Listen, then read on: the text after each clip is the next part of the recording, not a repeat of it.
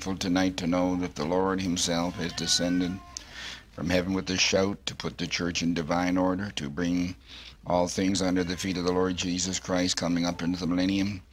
Knowing, Lord, that requires a great resurrection, which we believe surely is at hand. Father, we thank you that that's because of your presence, Jesus Christ, the same yesterday, today, and forever. And we know that, Lord, but we don't know it as we ought to know it. We know that that's the cry that Paul said we don't know as we ought to know, but you did say in your word there'd come a time when we knew as we were known, and this is what we're looking at at this hour, believing this to be true, that your revelation, Lord, is going to break forth in such a way that even as we are known and know each other, for you said that the spirit of man knows the things of man, but Lord, the Spirit of God which we have, which we're looking for tonight to know you and your things as we've never known before, to put us, Lord, in that perfect place of redemption that you've got planned for us taking us into the everlasting realms, Lord, of purity and glory. and recreation and new creation for which we stand here tonight in faith, believing, O God, that this is absolutely the hour. So help us tonight, Lord, to not only believe this, but Lord, we're looking to you to do what you alone can do, is to dynamize your word in our behalf within us, O God, that we can be the living epistles read and known of all men, though men will not read them. We recognize that. We will not understand. But Lord, we will be in that position. We thank you for it. Help us in our studies tonight. In Jesus' name we pray, amen. You may be seated. this is number eight of the greatest battle ever fought. Now, since man not only has the ability to receive information, but to use that information to forecast the potential from his data, and since his life is made up almost exclusively of that routine, it is a veritable battle of Armageddon for him to switch his mind over to perfect faith in the Word of God.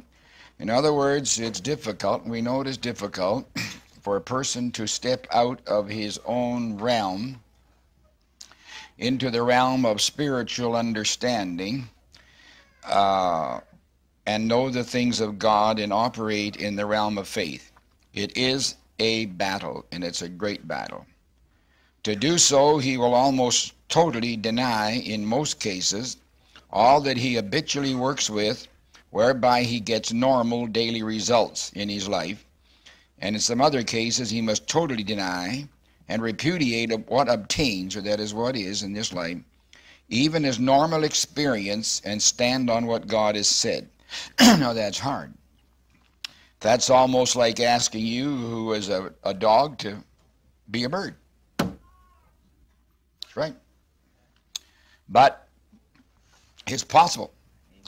Because the Bible speaks of transfiguration, which means a stepping up, up from the normal to the supranormal.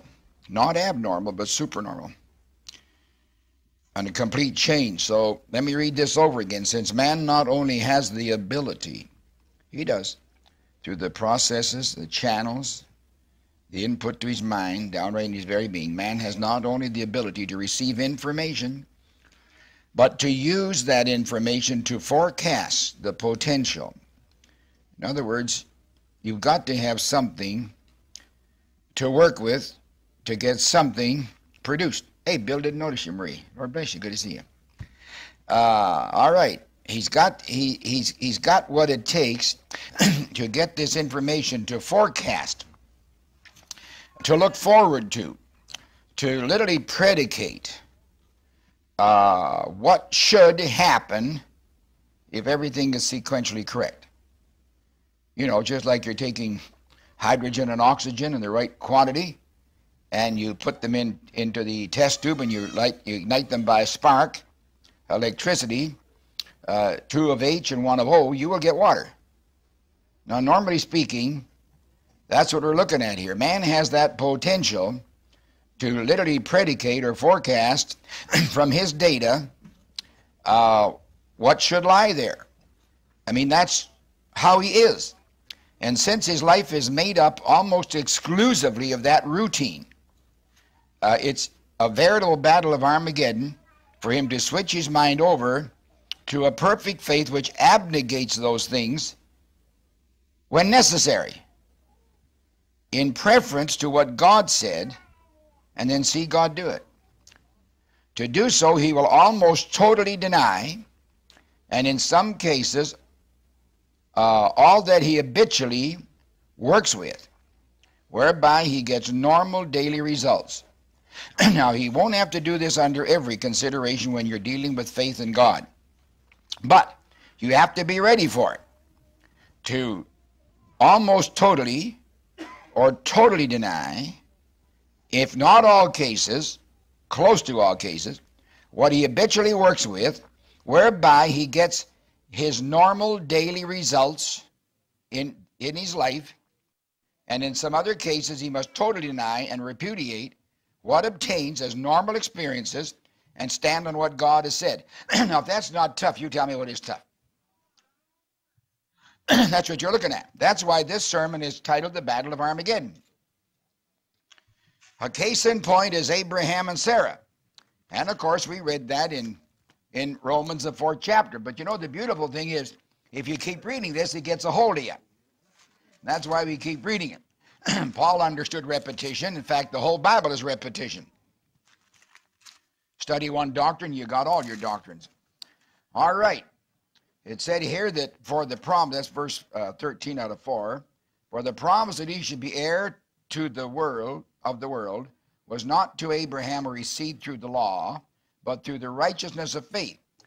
now, if you want to translate that into terms of normal law that I've been talking about here, that we exercise daily in our lives, you can understand here that you don't go that way when you operate in faith any more than the law given to Israel and people attempting to utilize it could get the promise.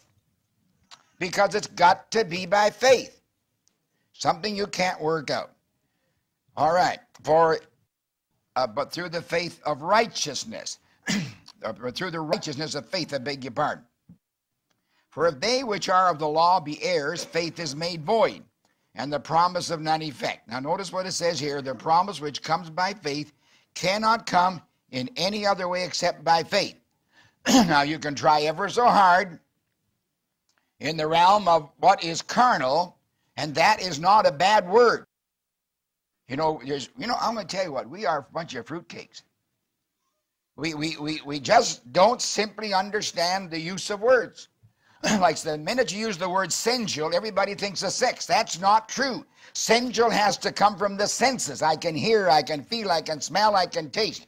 I sense it. It's just like you're not very sexually erotic if suddenly you see a cobra gonna pop you right on the nose here, and that means death. You don't, you're not worried about it then. You're out of there like a flash of you, and that, that is a sensual reaction, just the same. Not, it's not a bad word. But people are always messing with words, and it's pitiful.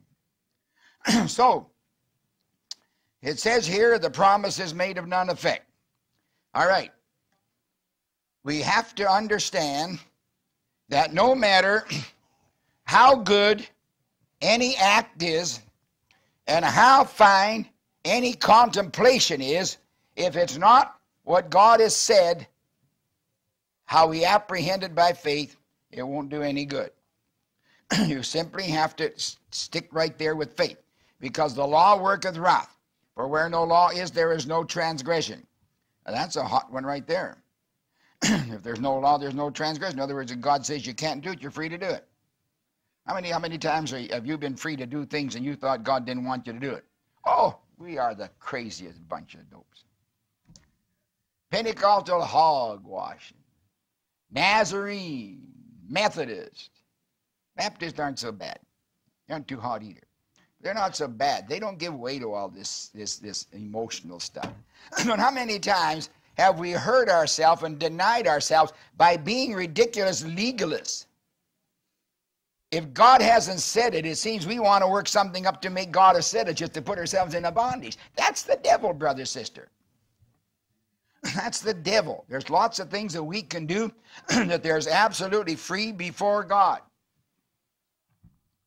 Oh, listen, it's a nervous, bound up race today. You know, if, if God doesn't do something for us, let's face it, we're gone. You're, you're, you're to the place of faith. Listen, realize this, brother, sister, if we are not to the place of faith today where we got to just believe God will do out of sheer love and mercy, and He said so, then listen, we are gone because we can't do it ourselves. Don't you understand his word that said, except I send Elijah, just blow the whole thing up? Now, our minds don't want to accept this. Well, I don't. Why, why, why would he do that? I want to ask you a question. Why wouldn't he do it if he said so? He's God. If he wanted to put you down in this earth here and destroy your body and then bring you up looking like a rhinoceros, that'd be his privilege of doing it. God can do anything he wants to do. People just don't want to accept it. says there, therefore it is of faith that it might be by grace. To the end the promise may be sure to all the seed, not the knowledge of the law, but that also it's the faith of Abraham, who's the father of all. Now, you were identified as Abraham. And now an identification, as it is written, I have made thee a father of many nations. Before him we believed, even God, who quickens the dead and calls those things which be not as though they were, who against hope, you know, hope was gone, hoped on in faith, that he might become the father of many nations. In other words, just what God said he was going to become. And being not weak in faith, he considered his own body not dead. How can you be weak in faith if God gave you a measure of faith? How can you be how can you be weak in faith? Now you and I may be weak, but not in faith. Well, I, I don't know. Well, there you there you are. Who told the lie? You or God? Who's interfering with you? Is God interfering or is the devil interfering? Who is leading? Being not weak in faith, he said, not his own body not dead. When he's 100 years old, so similarly speaking, deadness of Sarah's womb also. Stagger not the promise of God to unbelief, but was strong in faith, giving glory to God, and being fully persuaded what he promised, he was able also to perform, and therefore it was imputed to him for righteousness. Now listen, if you believe, and understand carefully, if you believe the truth of 1 Thessalonians 4.16, you are righteous. And if you don't, you blew it. So, Brother Vayle, I think this. You think all you want. I'm telling you what the truth is. Because that's the promise of this hour. Now, if you don't want it, fine. I'm not going to try to make you have it. I'll just take double quantity myself by the grace of God. See, there's a case in point right here. How that Abraham actually had to deny every physical concept, sensate concept, every mental concept, everything that would come as concerning himself in this life, he had to say no. Say, Abraham, you're physically unable. He said, that doesn't mean a thing. Said, Man, you got to be crazy, bud. What about Sarah? Doesn't mean a thing. Are you going to stand here and tell me that doesn't mean a thing? He said, In my case, it doesn't because I believe. You know, that was George Mueller. Old George Mueller, oh, he was a priceless individual. He had these kids' orphanages, you know, in Britain, and he was world famous for his faith. He was, he was a mighty man of faith. Uh, never had a time when the kids didn't have food. Like Herman G. Alexander said, quoting somebody else as far as I know, he said, God never failed me any time, though he came within five minutes of doing it. never was he, never did he ever get a failure. but anyway, they, they prayed the food on the table. There was all plenty. Anyway, George Mueller was coming to Canada. He's going to preach, I think, in Montreal. He's coming down the St. Lawrence River because that's wide open to a degree for large ocean going vessels. and uh, there was a terrible fog on the, uh, on the river and from the ocean. And the captain said, I'm sorry, Brother Mueller, because the captain was a Christian also. And he said to him, he said, You will never get to your appointment he said, as you requested, because we are bound by fog, and the fog will not lift for so many hours. And George Mueller said, Captain, let us pray. And they got down and they prayed. And as soon as Mueller got through praying, the captain opened his mouth, and Mueller said, Captain, do not pray. In the first place, you do not believe what you're going to say. And the second place, the fog has lifted. Hallelujah. It was gone. Boy, I tell you what.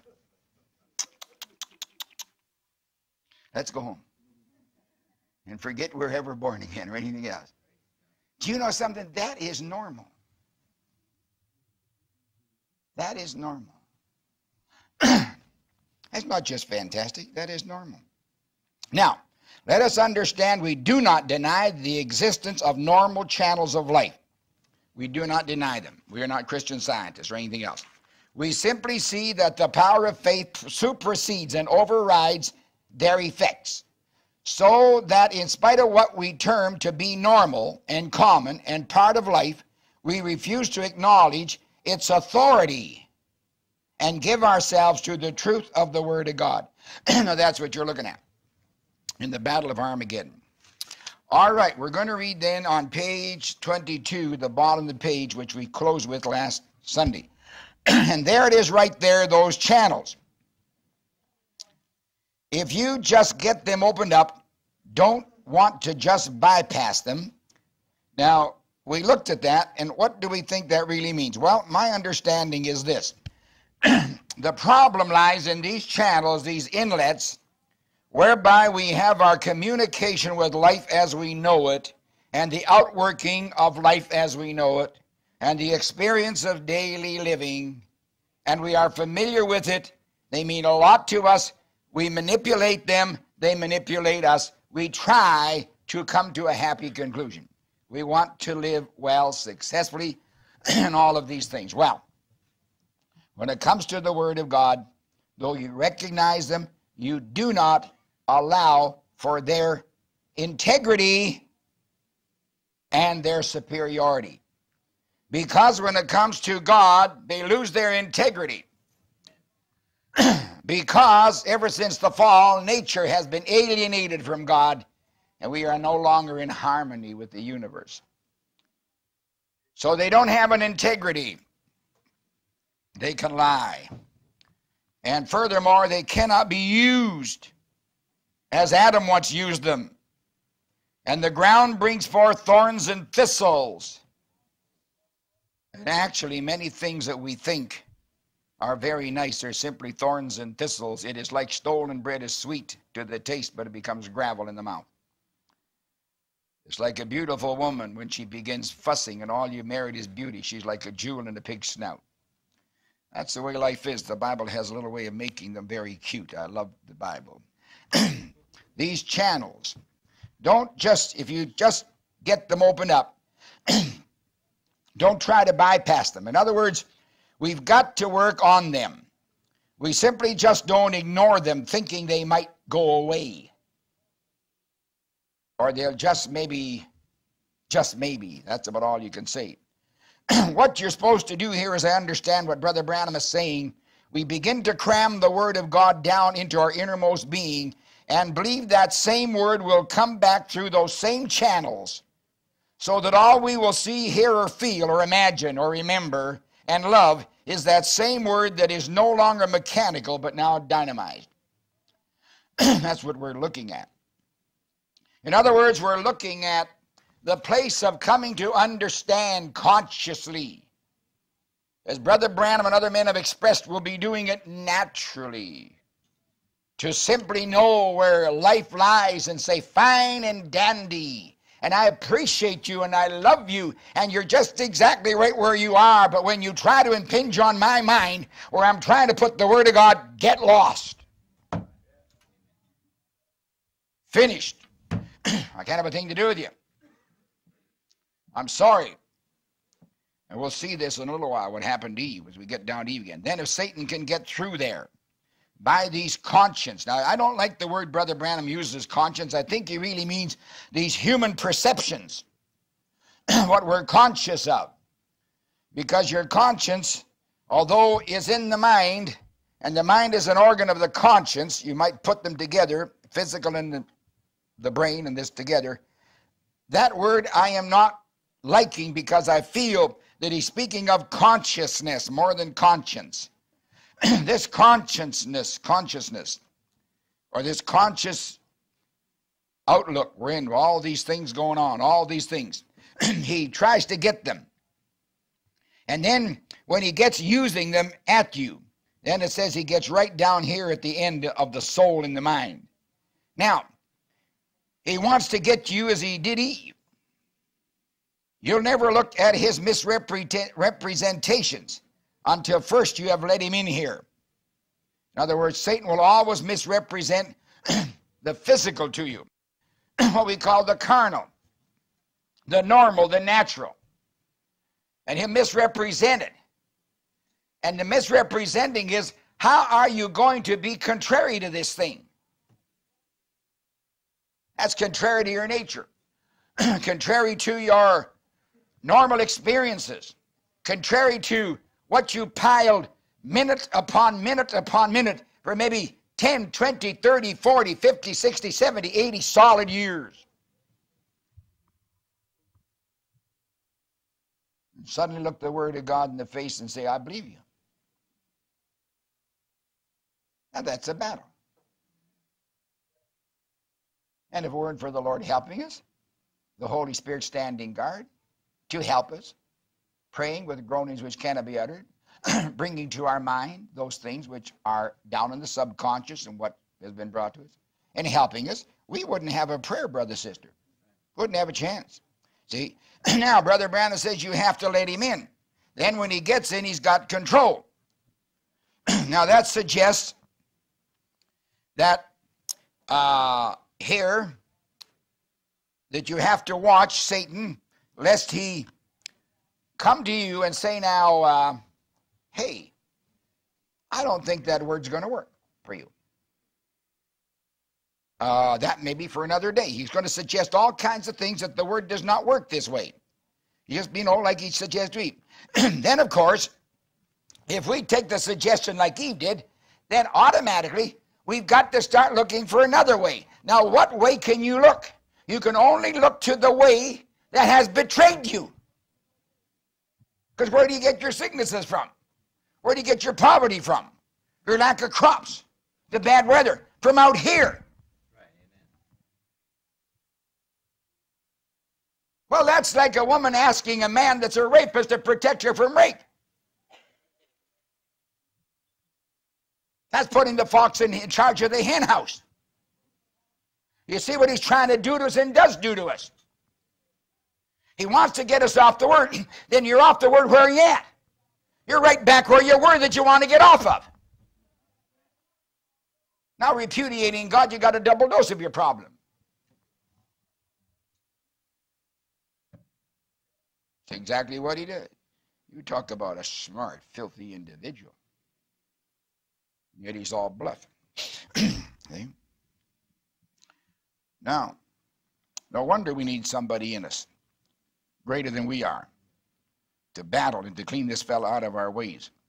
See, now, now there, there's no doubt in my mind that Brother Branham is telling us of his own experience and how he got to where he is and where he was. and he's encouraging us to come to the up to sonship by the same process, but not to try to supersede him. Look, you and I will never be the place where a prophet was. Because first of all, his mind is so fixed he can blip in and out just like this. Blip on, blip in. And his absolute duty, especially a prophet of his stature, like, like uh, Samuel, Elijah, Paul, with the ministry of Jesus Christ authenticating him, you and I cannot aspire to be what Brother Branham was, so don't pretend. But we can learn efficiently and perfectly in our own realm and orbit. See? Now, Satan comes along to use these human perceptions to turn them against us instead of we learning to use them for ourselves properly, which is to put them in their own place and supersede them by the word of God. so, if we let the anti word come in, the anti word, which is Satan's word, then he will dynamize that same word so it comes back through all of our channels exactly contrary to what we want because we want God and His Word to come back through these channels. in other words, there's got to be an inlet for every outlet. It's the same channel. Now, we showed you that scripture over here in Proverbs, the 18th chapter, and it's a tremendous uh, scripture, so therefore I always go back to it. If I can finally go back to it here and stuck in the book. 18 and uh, a man's belly, that word is really womb, which means an empty place. And a womb is a place for gestation and creativity. So therefore, it says that man's got a hollow place inside down here, with the ancients called the soup the uh, the solar plexus mind. That's right. And you know how it is when you begin worrying up here, soon gets down here, right here in the solar plexus. That's why people get nauseated. They get dizzy. They get all the blood pressure, everything else, because the worry comes right down to here, a man's belly, womb, a, a place that you start by your own attitudes a birth of a creature, a baby. Uh, Abraham got on the ball with Hagar, and they brought forth a rascal, absolute rascal, Ishmael. Still stinks. Now, that's what we're looking at. You want to bring forth an Ishmael? You want to bring forth an Isaac? Okay, here's what it says A man's womb, the place of creation. You know, they're trying to tell us today a man could have a baby like a woman. You just do certain things about him.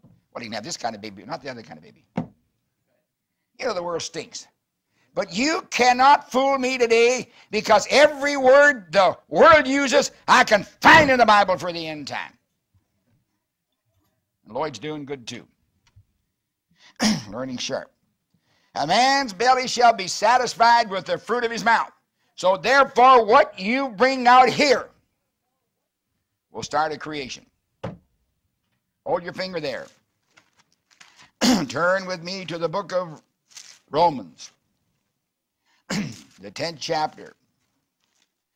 now, verse 6 But the righteousness which is of faith speaketh on this wise, saying, Not in thine heart don't say down in there your belly.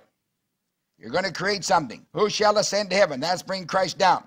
Who shall descend deep? That is bring Christ up. But what saith it?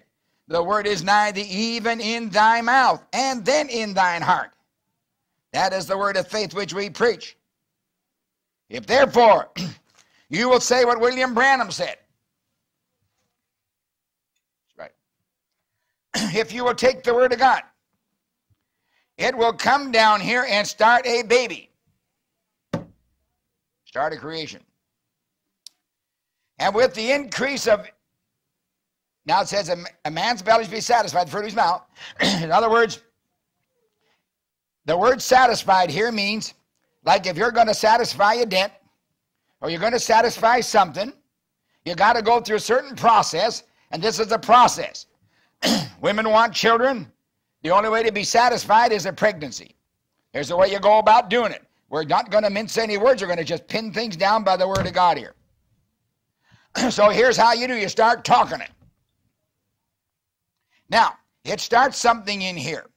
This makes the satisfaction. There is no other satisfaction that you and I can have outside of this. now, people are highly dissatisfied today. They're emotional. They're running here. They're running there. They're doing this. They're doing that. What is their trouble?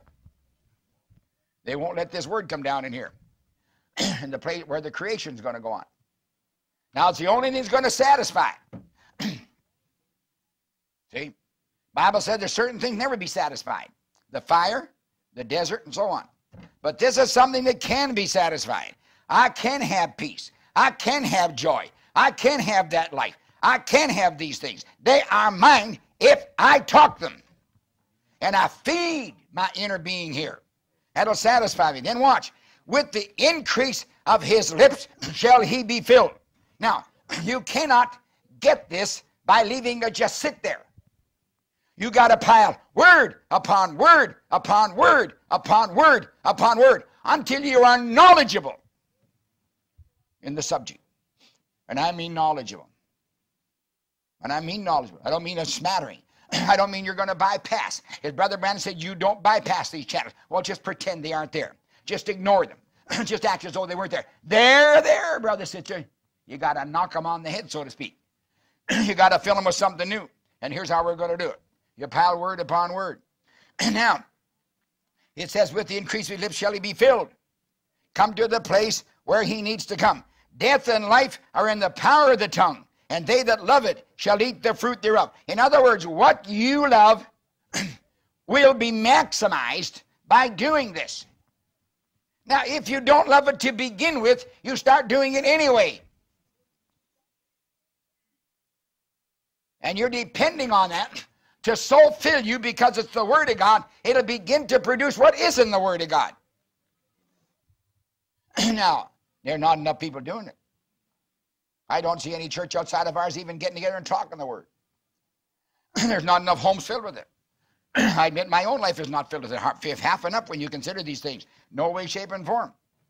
Now, with that, let's go back to Proverbs 20. We're over to Proverbs 20 and 27. The spirit of man is the candle, Lord, searching inward parts of the belly. now tells you right there. How's this going to be done? When the mind takes the word of God, the spirit of man with the spirit of God will take it right down in your soul, right down here in this place of creativity, this place of decision. And many expressions in the Bible all amounts to the same thing in my books. but we can do it. That's why the Bible says you become transfigured. The metamorphosis goes on, that process. All right. Now, we go on reading. So then, what does Satan do? Now, he's going to do everything he can to stop what I've been talking about tonight, what the prophet talked about. He begins to use the consciousness of things, or your consciousness. he begins to use this channel, or to use that channel, that outlet. What are those channels? see, taste, feel, smell, hear, imagine, conscience, memory, reason, affections. He begins to use all these different little channels as long as he could get in above this one here. what does he mean by this one here? I believe the word of God in your mind. He'll fill it with that. Sure. He's got to get in your mind first, and you have to accept it. Now, in other words, here, everything or anything translated into a mental perception that requires a decision or an ultimate comes by these channels that Brother Branham tells, tells about. They're through this. Now, from what he says in here, it is it, it appears axiomatic that if we repress the natural man and his input and his conclusions, the seed life will take over to give us a victory. In other words, as Brother Branham said to the Indian, the Indian talking to him, he said, There's a white dog and a black dog inside me all the time fight. He said, Well, Chief, tell me, which dog wins? He said, The one I feed most. The man was right. all right. Let's go to Matthew and look at what I just said. It is axi- appears axiomatic that if we express that if we repress the natural man and his input and conclusions, the seed life will take over and give us victory. Matthew 12. I beg your pardon. Not Matthew 12, Matthew 13. 3 to 7. He spake unto them, unto them in parable, saying, Behold, a sower went forth to sow. And when he had sowed, some seeds fell by the wayside. The fowls came devoured them up. Some fell upon stony places, not much earth. Forthwith they sprung up, because they had no deepness of earth. When the sun came up, they were scorched. They had no root. They withered away. They died. Some fell among thorns. The thorns came up and sprung up and choked them out also. But others fell into good ground and brought forth sixty and a, both in some sixty, hundred and sixty or 30. But here's your let him hear. now with that we go to 18 and 23. Hear the parable of sower. When any man heareth the word of the kingdom and understands it not, then comes a wicked one and catches away that which is sown in his heart. This is he that receives seed by the wayside. But he that received the seed in a stony place, the same as he that heareth the word, and anon with joy receives it. Yet he hath no root in himself, but dureth for a while. When tribulation or persecution, persecution arises, because of the word, by and by he's offended.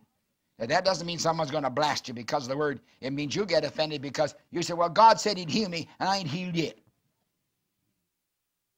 You know, Jesus said, blessed is the man who's not offended in me. And I want to say this, there are very few blessed people.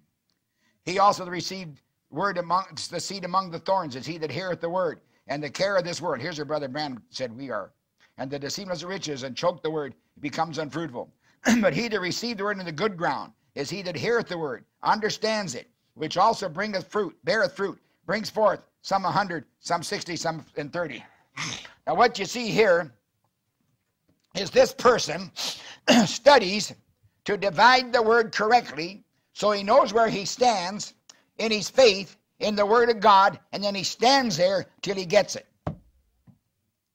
and he doesn't fool around with all kinds of thoughts. He just says, What does the word say? and everybody's, Well, you got to do this. He said, Now hold it. That's not what the word said. See, people just don't want to face up to the word. You've got to do it. Okay, let's keep reading. Now, listen, he says. It can batter against you. What can batter against you? Your carnal input. Now remember, Satan has already got our minds by us being sinners. And the only way to get rid of that bad mind is through Almighty God's Word transfiguring us with the help of the Holy Spirit. Now it says all this input, this carnal input, and this is normal, natural, and good in its right position. now you don't you don't obviate some things. Like there's a fellow, I, I know his name, but you talk about a kook. Brother Branham mentioned, you know, looking at these women that go down the street, you know, with not enough clothes on, you know, to, feels like a postage stamp. he said, don't even look at it. Close your eyes to it. So this guy was driving a car, and a woman crossed in front of him. And He just he closed his eyes and almost ran her down. Now that's plumb stupid. He did it. He plumb stupid. Took an axe and hit his television set while he didn't kill himself. That's dangerous. His wife wanted to turn around and bought another one because she was a nice little Catholic girl. She's good. She's a nice woman. Not a thing wrong with her or concerning her and her religion. She's just fine because that's what she was. she probably went on and bought another one. So before it's over, they end up in divorce court. Look, people, for heaven's sake, don't be stupid. Please, I'm not talking to stupid people, am I? You know, you you that's not what a life of faith, what this message is about, being idiots. God gave you eyes to see. The Bible said God made eyes to see. He made the ears to hear and the mouth to talk. And, and right down the line, the hands and all to be sensate. He gave this. And when he finished, he said, It's good.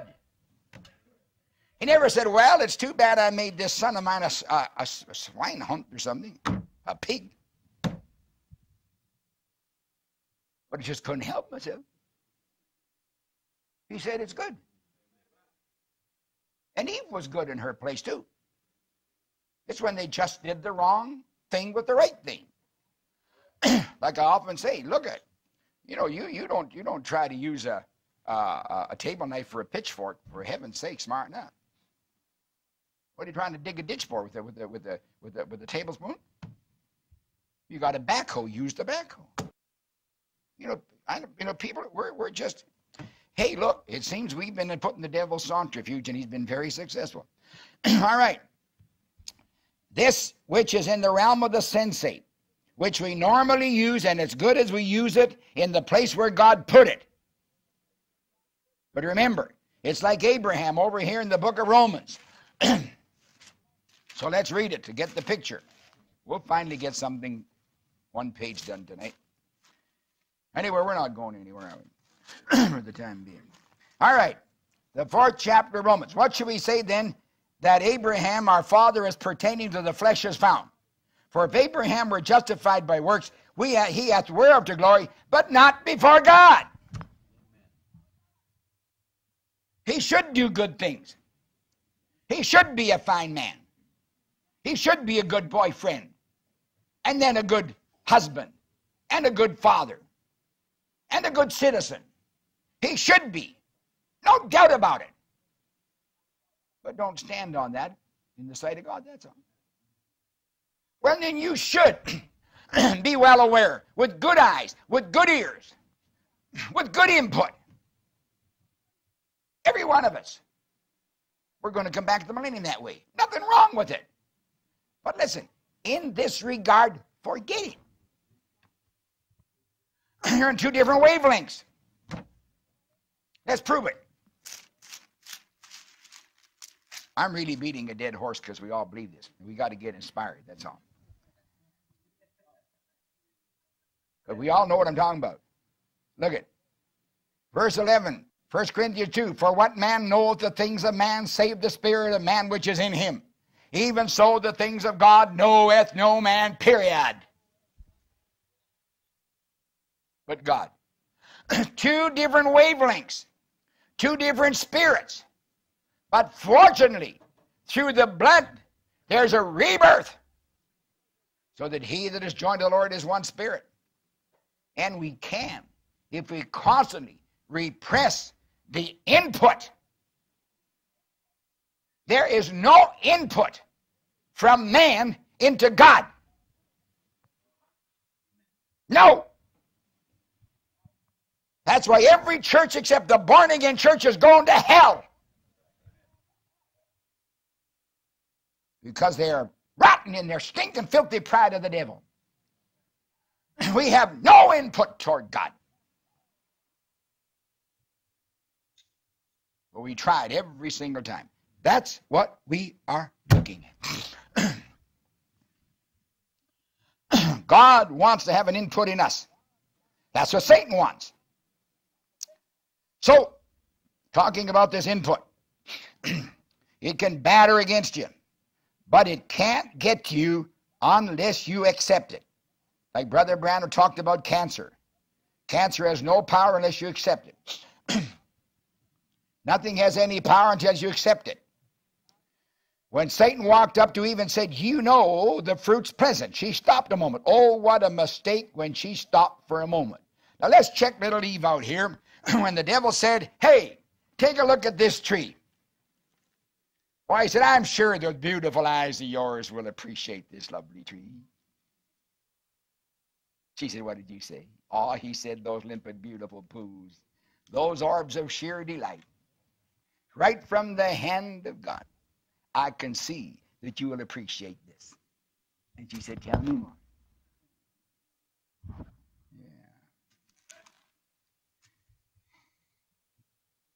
I'm not lying. I'm telling you the truth. She was completely razzle dazzled by him. All right. Where is it found anyway? In the third chapter, the serpent comes in verse 4 and he said, The serpent said to the woman, Oh, let's see, let me read first of all. the serpent came to the Garden of Eden, he said to the woman in verse 1, Yea, it had, did God really say to you, shall not eat every tree of the garden?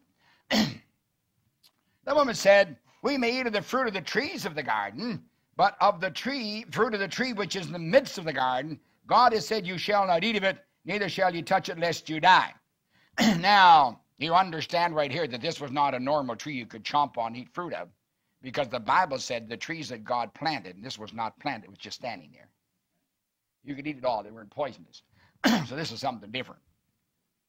The serpent said, You shall not surely die. For the Lord doth know that in the day you eat thereof, then your eyes shall be opened, and you shall be as gods knowing good and evil. And when the woman saw that the tree was good for food, and it was pleasant to the eyes, and a tree to be desired to make one wise, she took of the fruit thereof, did eat, and gave also to her husband that he did eat. And the eyes of them both were opened, and they knew they were naked, and they sewed leaves together, fig leaves together, and made themselves apron. I want you to notice here, brother, sister, that this is exactly what I said before about Revelation 7, 17, 1 to 7, the beautiful organized church of the last day.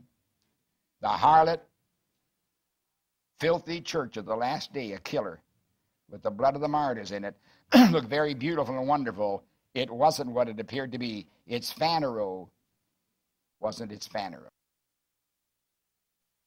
It was a hypocrite, an absolute hypocrite. It was not what it was supposed to be, and neither is the end time church. Let's take a look at the seventh, let's take a look at the sixth verse again. And one of them saw the tree was good for food and pleasant to the eyes. Why, she said, that settles it. The properties are wonderful. Now listen, what I'm trying to show you this in verse 7, when they had taken after the fact, the tree became unveiled as to its reality. It was a hypocrite tree. And its true Phaneroo, its true character, was death. Now, the people today look at the modern church And the modern church says, oh, we said, why? We're rich, we're increased in goods, and we don't lack a thing. We're wonderful. And the Phaneroo is, you're wretched, miserable, blind, and naked, and don't have a thing. now, brother, sister, what tree did she take up, and what tree is being taken up today? the church. Now, we can't sit here and say, well, well, Brother Vayle, I resent that because you see my church. You're as rotten as your church. And you're going to burn with your church. And don't tell me you're not, because I'm not a fool. Because you're pronounced filthy. I don't care what you are. This is, that takes them all in. we got to understand that. The church crucifies to itself the Son of God afresh and puts him to an open shame. What open shame? Because he comes down here in the appearing and he shows in the Phaneroo exactly who and what he is, and they say, Away with it, we don't want it.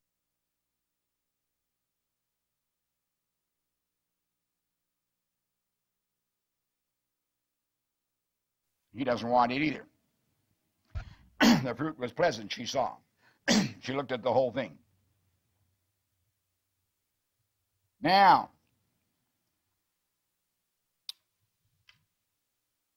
the eyes were opened, and then it was too late. Their eyes were opened after the fact. it was too late. So there'll be people crying to the mountains, fall on us. There'll be people in this message crying the same thing because they're not in the message at all. no, they're not in the message. They've sold themselves out. It's too late. Let's go to Second Thessalonians where it's too late. you know, we can sit around picking our teeth or what have you, fooling ourselves. Verse 8 Then shall the wicked be revealed. Second Thessalonians 2. Whom the Lord shall consume with the spirit of his mouth and shall destroy the brightness of his presence. Even him whose coming is after the working of Satan with all power and signs and lying wonders, with all the deceitfulness of unrighteousness them that perish, because they receive not the love of the truth, they might be saved. You know something here? There's a couple of proofs right here. One is the unrecognized presence of Christ who has already come down. The next is the unrecognized presence of Satan who comes down. Be too late. too late. With all deceivers and unrighteousness in them that perish because they receive not the love of the truth, they might be saved. And for this cause, because they would not receive the truth, a strong delusion comes, and they're damned. The same as took place in the Garden of Eden. and the Garden of Eden situation is right now today, and I hope you understand what I'm saying. Many people don't understand what I'm talking about. Luke chapter 17, they asked him, When does the kingdom of God come? And he said, The kingdom of God comes without observation. It'll come, you won't even know it's here, and it's here. And he said, It's in your midst right now. He was standing there. Brother Branham said, The Garden of Eden was God's righteous government upon earth. now, at that time, Satan was right there confronting God. At that time, they fell. At that time, the tree of life was there. At that time, he could have stuck forth his hand and taken the tree of life, and God said no. Then you got to come back where the tree of life is, and Adam is in sin, and the devil is standing there, and it's right here today. What are you looking for? Immortality. Now, the people will know after the fact. And Brother Branham said they'll be saying, Wasn't this to happen? What wasn't that to happen? Wasn't this to be? And wasn't that? And they say, Aha, it was, and you missed it. And now people say, I don't believe it. Then don't believe it. Read your Bible, and in every single case it took place that way. But I'm different. Are you different? You lying hypocrite, you. You spit right in the face of God and call yourself a Christian? Like fun you're a Christian. You've sold out to every spirit of hell. It's exactly. And I hope nobody in the sound of my voice and on the tapes ever has to take that. And say, Brother Vayle, I'm glad that I can see. and understand and appreciate the grace of Almighty God. If my loved ones won't go thee, I'll not turn back. my wife has her ultimatum. If I turn back, she better go on. My children don't come. It's I, I can't help it. My mother died a heathen, my father died a heathen. That's not my business. Every man shall bear his own burden. You'll stand on your own two feet, brother, sister. Don't talk about your wife, your husband, your kids, your this, or that. So, what about you? Have you received the token? Are you piling word upon word? That's the thing that counts. That's the only thing that counts. Nothing else worth considering. now, they, they, here, it's too late. It's too late when 1 Thessalonians 4 13, 16, right down the line comes. Let's just take a look at it. It's after the fact, too, because they'll say, hey, wasn't there supposed to be a, an appearing, which they call the rapture hogwash? The appearing comes before the rapture. The rapture is the coming.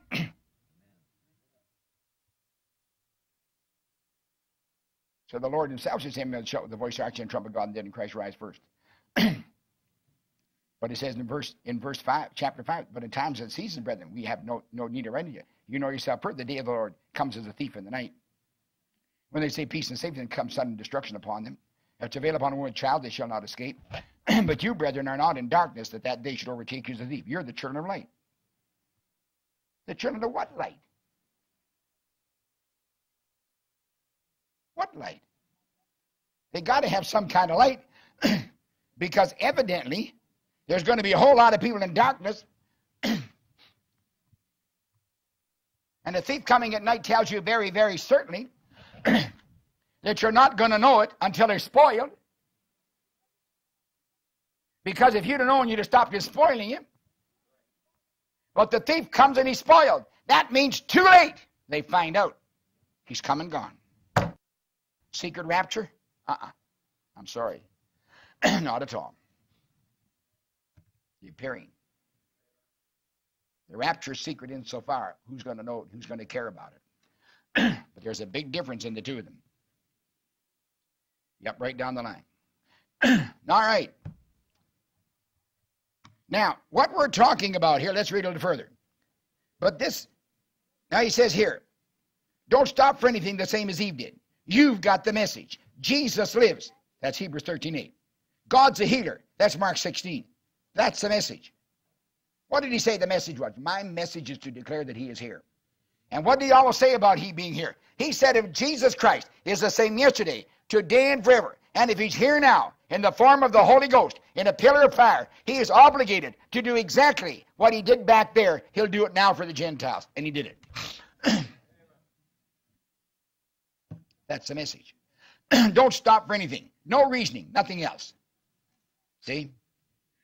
now, what Eve thought she saw, she didn't get.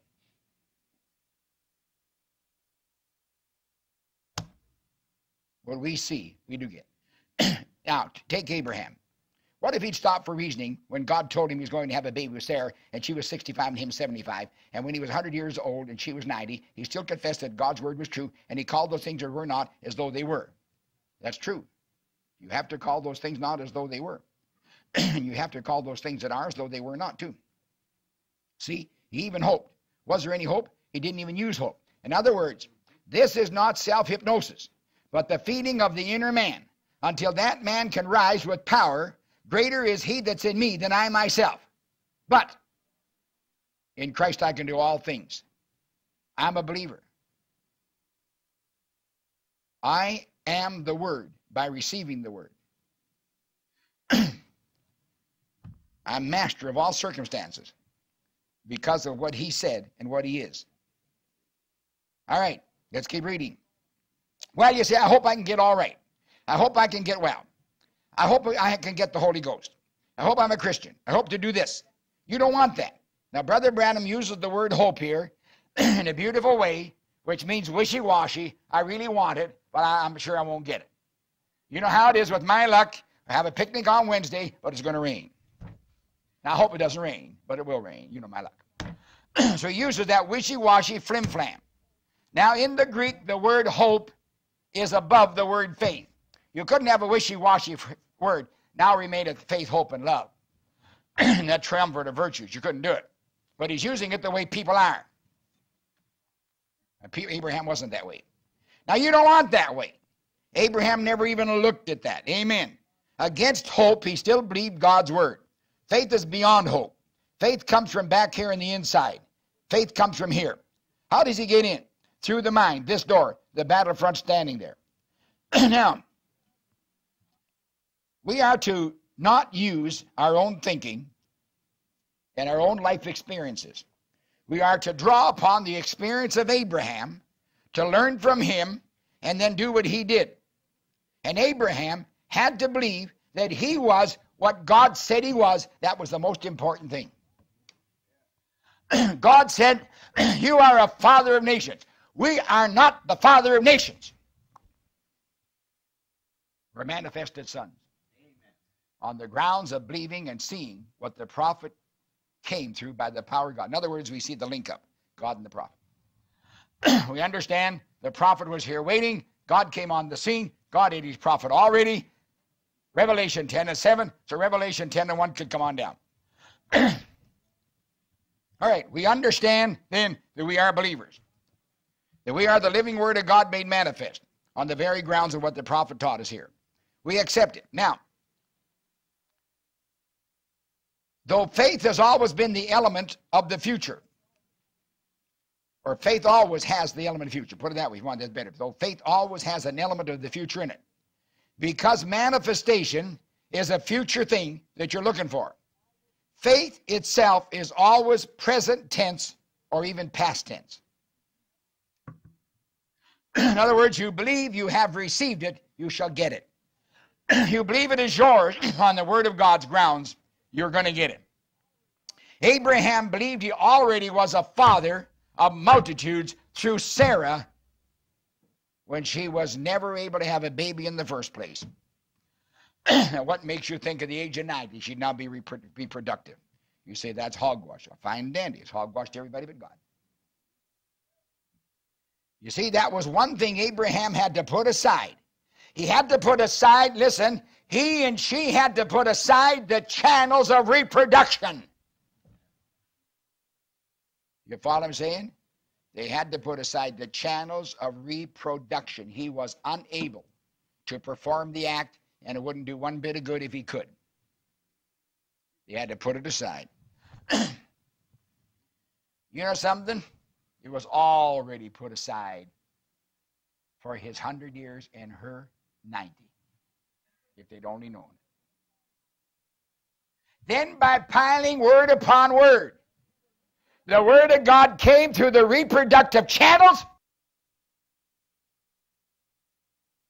And he was perfectly a whole young man, and she a young woman, and they had the baby. And that's exactly what Brother Branham was talking about. Reverse the channels. Put them to one side until the Word of God can back through. And that's what's wrong with young men and young women. They don't understand the understanding of, of, of reproduction. they don't understand it at all. They've got themselves a wrong element.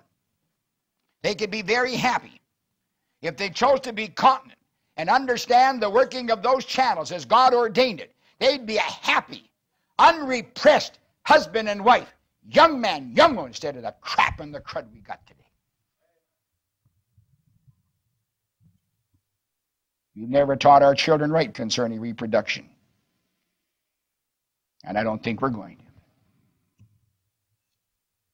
We haven't got time. Some cases, some of you sitting here, you got boys and girls are too late already.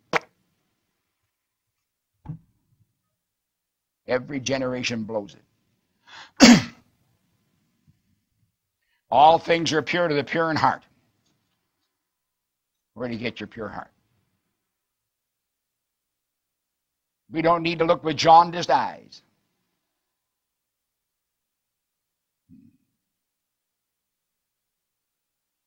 Get the channels lined up. You don't get rid of the channels, brother sister. You just get to you start using the way God wanted. I heard a lovely thing said today. I didn't realize that Charlie Cox had ever said this concerning Brother Branham. Brother Branham was always a good hunter. But after the seals opened, He'd go out and sit in the woods, and the squirrels would come up to him. Sadhu Sundar Singh had a tiger come up. Lick his hand, purr like a kitten, play with him. Once in a while, God does show that in Him there is reconciliation. But we don't like reconciliation because we're too stuck on our sensual. Even those are the best of people who learn a few things in life, just maybe accidentally or by the grace of God somehow. Too stuck on it. We still labor for the bread that perishes. So Brother Branham told Jack Palmer, he said, Jack, don't ask God for a lot of things. Just live with Christ. They'll come. There comes a time when you begin obeying rules and put your senses under. You can't account for it, but you just know that you know. Oh, yeah. You know that you know, and God knows that you know too. Yeah, faith is not wishful thinking or wistful thinking. You know, wistful thinking, a kind of a yearning. He's a, she's such a wistful person. I sat there wistfully. Faith does not sit wishfully or wistfully. Faith doesn't sit at all, really, until God says sit. It's very aggressive. And it's aggressive toward the enemy and the senses in our lives. Now, when you get the battle set in array, the devil will be sitting right at every heart this morning. He's sitting at this little girl's heart. She's the one dying of cancer or whatever. sitting at her heart, sitting at your heart, sitting all around her. He said, Oh, I've seen it tried before. I've heard that before. Brother Branham says, Cast him out with his big sneer. That's all. Cast him out. What did the Bible say in our text here about Peter? First Peter 5, 8 to 9. Cast him out. What's casting him out? Brother Branham says, ignoring him. Then he blurts out, We've been trained wrong, I think. What's the matter with us preachers? Wonder what kind of training we've had instead of God's training for this great battle. In other words, the mind has not been word trained. In fact, the main thrust of secular education is to rid the mind of the word, for the church has already repudiated the truth. Why should we fuss at the government? when the church denies the power of prayer except in some nice little way to be sound religious, you know, denies the word of God that gives you the ability to pray or the right to pray. then now suddenly the state takes a hand and it's all my horrors. Why horrors? You think Dr. Frankenstein should have had any problem with the monster he created? he made the monster. The monster went through breaking up the laboratory and busting his neck and his girlfriend's neck. What's he got to cuss about and fuss about? He asked for it. What's the church trying to talk for now? It blew it in the first place. It's the one as a, an editorial, not an editor, many years ago in the paper. He said, I don't understand the seminaries. I can't understand it. He said, We send people there to preach God, to learn God, to teach God, and they come home denying God. What are they teaching? I got an article on Reader's Digest. I haven't got time to read tonight. Didn't bring it anyway. I only read what I got here. this person is an anthropologist. And he tells how lovely the Spirit of Christ is, but he believes in evolution. And the Spirit of Christ is just getting nicer and nicer and nicer. This is nicer with the atomic bomb. The Stalin less than 50 years ago. And the Gorbachev will kick out without a doubt. I like the guy. He's not going to last, I don't think.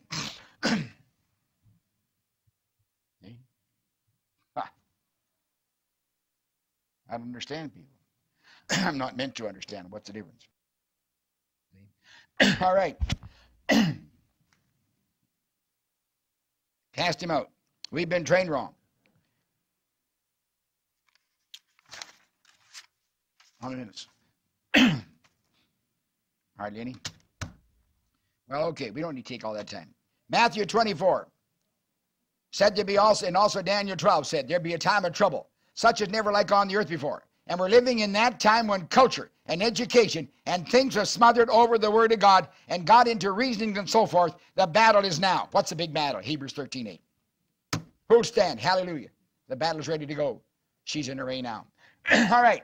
I'll read you. First of all, this article from Reader's Digest on pornography. Sexual madness. Manipulating the First Amendment, pornographers have claimed their so called right to open up cesspools of sexual slime. And in so doing, have taken priority over the rights and welfare of an entire generation of children. And everybody's screaming, Our children, our children, our children. Oh, our poor children. Every car's got to stop down the road for every school bus. Oh, yeah.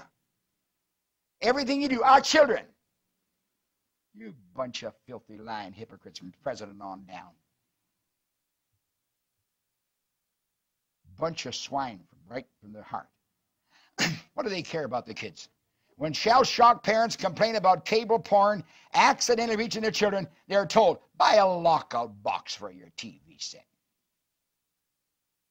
What's really being locked out is plain ordinary decency and the inalienable right to protect children from psychic damage and from chilling effects of pornography. The smut assaulting our sensibilities today capitalizes on violent, explicit depictions of sexual acts, heterosexual, homosexual, bisexual. It's with animals too, come on, face it. It includes portrayals of orgies, incest, bestiality, sadomasochism, uh, uh, bondage, necrophilia, sodomy, even blueprints of raping women with everything from loaded guns to so and so and so and so. We didn't even mention it. If these descriptions shock you as an adult, then imagine the effects upon the emotional development of our children. What's even more shocking is this potentially traumatizing hardcore pornographers reaching American children for one reason only. Obscenity laws are not being enforced. Obscenity is illegal. And the federal government has strict laws against the mailing and interstate transporting and importing of obscene materials. There is also a federal broadcasting law prohibiting, prohibiting pro obscene programming. Furthermore, almost every state has its own obscenity law. The obscenity laws are so rarely enforced that most citizens don't even realize pornography is illegal. When I asked 24 people if they thought the hardcore pornog pornographic magazines on display at their newsstands are legal, the unanimous response was they must be or they wouldn't be here. Why aren't states and federal obscenity laws being enforced? I asked that question in 1975 in, in an interview with Manhattan District Attorney Robert Morgenthau who was and still is responsible for the investigation of prosecution in Manhattan of violation against New York State obscenity laws, one of the strongest in the nation. Morgenthau's excuse was limited financial resources, with priority given to the prosecution of murders, rapists, and burglars.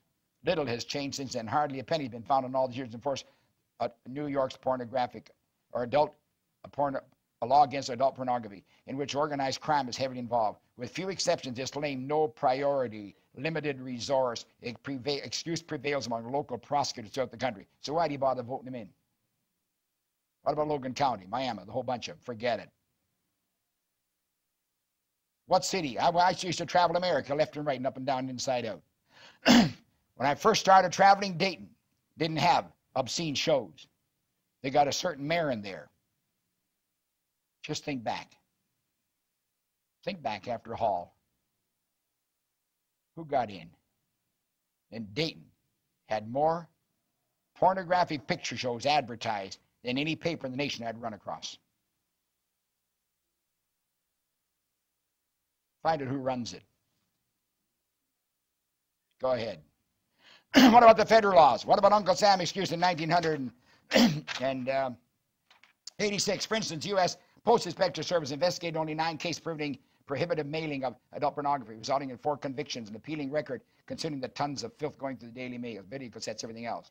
In 19, in, in, I purchased in 1985 three hardcore pornographic magazines openly displayed in the Vermont Country Store. Since two were published in Cleveland and one in New York, there was no question that the federal law prohibiting interstate transportation of obscene materials had been violated. Now, you, you ship ice cream back and forth.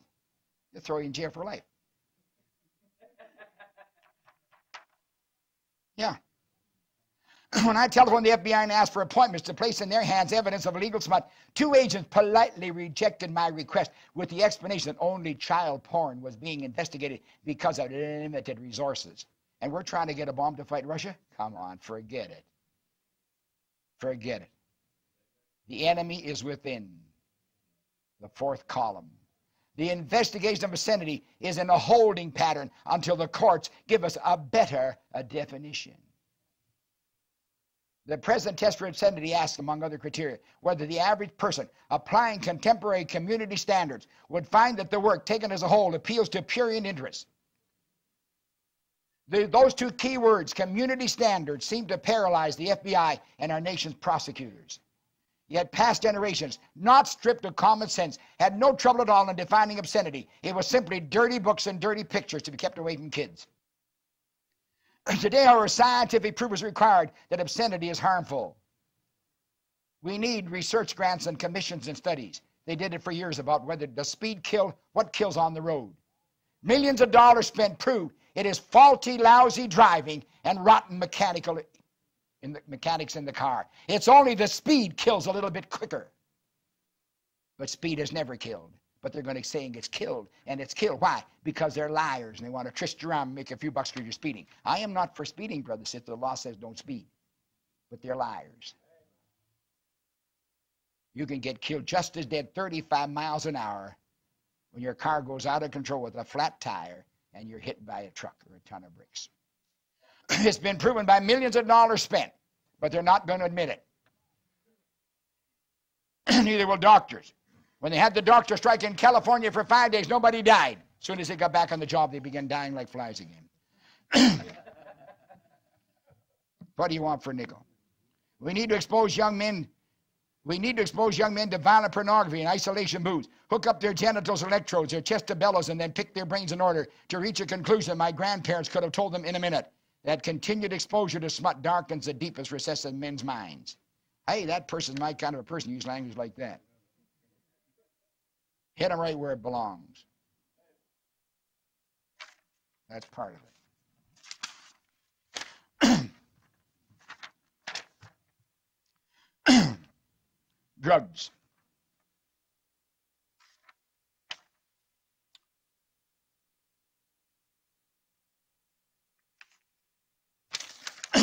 Here we are. How much time you got left? Okay, I'll read it. Sophomores in the health class in Lancaster, Pennsylvania high school, totally absorbed in it by us as a smooth voiced narrator for the film strip Marijuana Updates, its use and abuse, extolled the medicinal qualities of the plant, tracing its use back to the late Stone Age. Throughout history, he stressed, man has been a drug user. For at least 5,000 years, cannabis has supplied one of his favorite intoxicants. Then he described pot's pleasurable effects, the euphoric feeling of relaxation, contentment, inner satisfaction, the sensation of floating beyond reality. The 55 minute cassette contained only 105 seconds of the pot's possible effects, and it's claimed that the role of cannabis is causing them has not yet been confirmed. One of the greatest exponents of, of pot for years now has been truly converted to understand it is terribly detrimental and has exposed it 100%, but they won't use the books. now, who is doing this in the schools? The final 19 minutes of the film were devoted to promoting the legalization of marijuana, echoing the platform of the Pro Pot National Organization of Reform of Marijuana Laws, N-O-R-M-L. Obviously, said one indignant 15-year-old, 15-year-old kid. Everything I've been told about pot is wrong. Now I am going to try it. this film strip currently sold by the Guidance Associates for $179 a large and respected producer of audiovisual materials for schools. Marijuana Update, released in 1975, has never been updated to reflect the current knowledge about the dangers of pot. During a recent presentation, a group of sixth, eight, sixth graders, a nationally known health educator declared any drug can be used in a positive manner. How wonderful. Typical to many miseducators, he lumped medication and illegal drugs together. For example, he listed aspirin on the blackboard as a might be narcotic or a barbiturate by angel dust. And, an angel, and analgesic, a pain reliever. Not surprisingly, that'll drive you completely crazy, that one.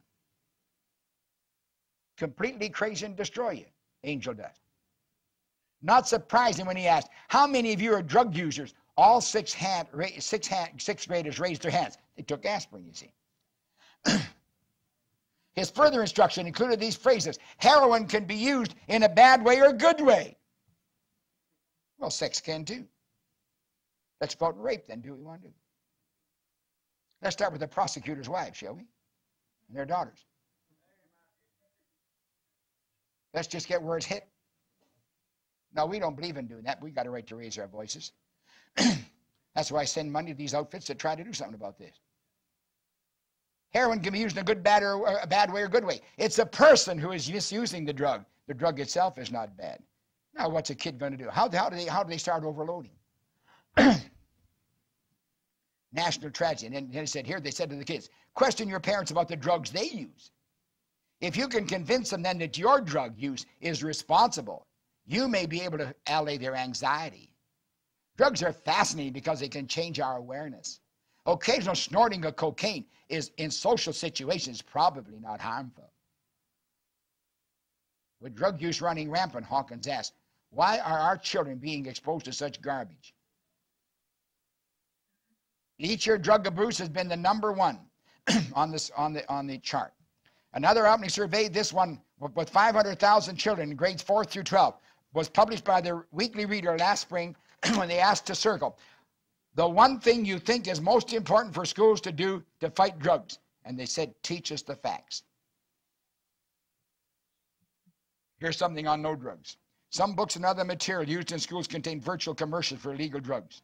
For example, the three books on drug abuse most commonly found in school libraries are today Chocolate to Morphine, The Natural Mind, both listed by Wheel, Andrew Weil, and, and, illicit, and illicit drugs by Edward M. Brecher. The editors of, think of this now, Consumer Reports. You wonder why Consumer Reports give you all those bum steers? A bunch of hopheads. This, this book is pure poison, this one here. What adventure youngster would not want to try mescaline or LSD, for example, after eating illicit and illicit drugs? Page 337. That mescaline users have found the most spectacular uh, phase comprises the kaleidoscopic play of visual hallucinations in an indescribably rich colors, the seeing of music in color, or hearing of a painting in music. Page 364 describes a 1960 study finding LSD valuable as a therapeutic tool, a road to love and better relationships, a door to religious experience, a release from anxiety and trouble. That's your kids are being taught then. There's page after page. Armageddon? Are you kidding? We've lost the battle. This is the seventh church age. William Branham was that prophet. It's all over. Too late. They didn't believe. Look what a great opposition we've got. That's enough. Good place to start next Sunday. Sunday ever comes. it doesn't, praise the Lord. Sudden death, sudden glory. Sudden glory, all the better. The suddener the better, the more glory the better. Let's rise and be dismissed. Sunday, 1030. Gracious Heavenly Father, again we want to praise and thank you that we know that this word is absolutely true for our day. Every single thing in the message, even the current words are there. The sorcerer's there in the Bible, the one that deals in drugs and all that, he's right there, right in the church, the whole bit. There isn't anything, Lord, that isn't there. Nothing absolutely is coming to the full finish, to the end, even, the Lord, as you came in seven, a complete revelation, that which is perfect has come. Now, Lord God, is a complete spirit of righteousness and wonderment has come upon the earth, so has also the devil and his revelations and what he's doing.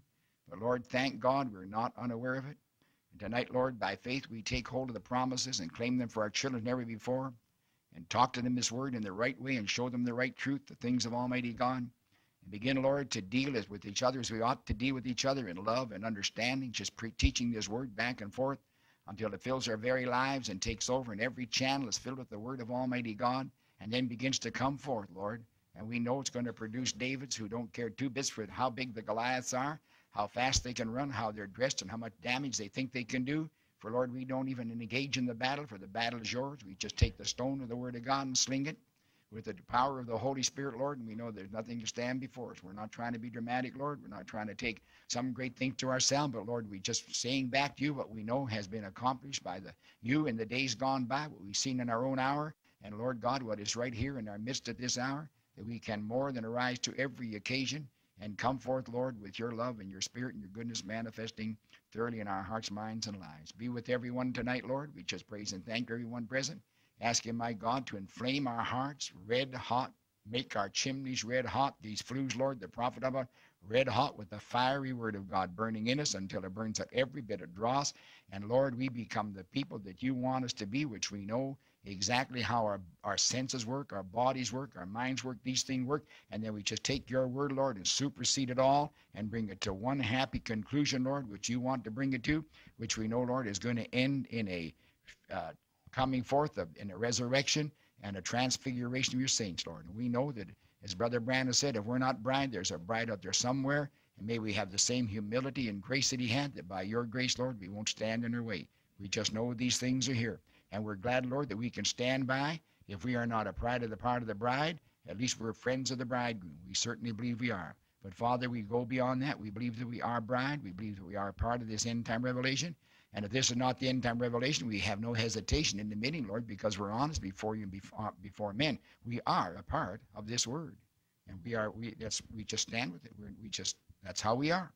And then, Lord, if we're wrong, we know that we are wrong. You, you say we're wrong at the after it's all over, then we're wrong. But Father, at this time, we just have to admit candidly that this is what we believe.